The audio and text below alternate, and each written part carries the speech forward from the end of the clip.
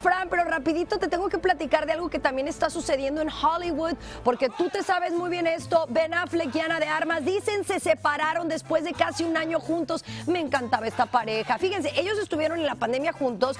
Ella hasta decidió viajar a Cuba a ver a su familia durante las vacaciones, pero aseguran que, mira, ya tronaron. Esto lo dijo según el portal de espectáculos Just Jared.